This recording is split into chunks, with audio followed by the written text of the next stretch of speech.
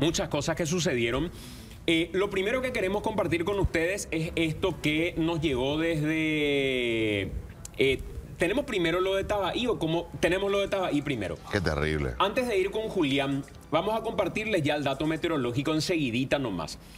Pero eh, este es un tema que queremos plantear porque en principio, en principio, una familia completa falleció calcinada en Tabaí porque decidieron hacer una especie de fogata, aparentemente, así es la primera crónica que recibimos, para aplacar el frío. Una casa de madera, muy, muy humilde la casa, y estos son, Estela, Luis y Robert, reportes típicos de jornadas de mucho frío Sí. Que se repiten en nuestra crónica periodística. Sí. Y lamentablemente, acá estamos hablando de una familia completa, decía Estela hace rato, ¿verdad? Una familia completa, muy joven, el, el padre 23 años, ella 19 años, embarazada. Sí. Y el hijo de 4 años murieron calcinados. Eh, estamos hablando de, estoy leyendo el diario Última Hora, las víctimas fueron identificadas como Luis Miguel Fernández Cabral, de 23 años, de profesión agricultor Fabiola Diana Fretes Sosa, 19 años, y de un hijo de 4 años. Ese es. Estaban durmiendo, dice, en el momento en el Sí. que sucedió esto. Y eh, llegaron al lugar personas que estaban pasando justamente por ahí en ese momento. Eran las 9 de la noche. Las- ni, ni- ni siquiera eh, era, era muy tarde aún, diría uno desde acá, pero en el interior En se el interior ya, sí. muy temprano. Muy temprano, Ahí sí. la, la merencena ya lleva a la gente Sí. directamente a la cama. Eh, noticiero capaz sea la última actividad o quema lo mitad. Sí. Y lamentablemente a esa hora, eh, esta situación, un asentamiento, una vivienda muy, muy precaria, las paredes de madera, el techo de chapa, y esto falleció tanto, eh, favoreció, digo, tanto la chapa como el- el- la madera a que se propagara mucho más rápido el, el incendio.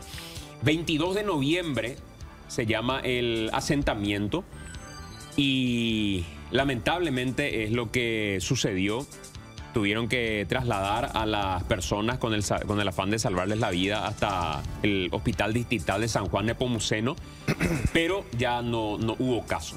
Una, Sí. una familia completa la que falleció lamentablemente. El padre del joven fallecido, de nombre Juan Fernández Vera, resultó con lesiones por quemaduras también, porque él intentó ingresar a la vivienda para salvar a sus, cero- eh, a sus seres queridos, pero lamentablemente la combinación del fuego, la precaria vivienda, pero además había un bidón de combustible. Sí. Eso fue lo que desencadenó, me parece, esta tragedia. Claro. Y además hay que recordar que cuando siempre los neumólogos nos hacen esta advertencia cuando hace mucho frío y queremos tener este tipo de fogata, utilizamos el brasero, que el monóxido de carbono que tiene Sí. compuestos químicos contaminantes puede provocar, por ejemplo, una asfixia sin quemadura. Y una vez que uno está asfixiado o que uno está desvanecido, pues obviamente el efecto posterior ya es del fuego. Sí. Claro. Es lo que iba a decir. Acá hay dos peligros. El fuego por un lado, pero incluso sin necesidad de, de- de fuego, la intoxicación puede hacer Sí. que una familia entera pueda morir prácticamente sin, sin, sin dejar rastro. Exacto. y el frío en la zona. Esta, esto no es eh, un, un- este no es un hecho aislado.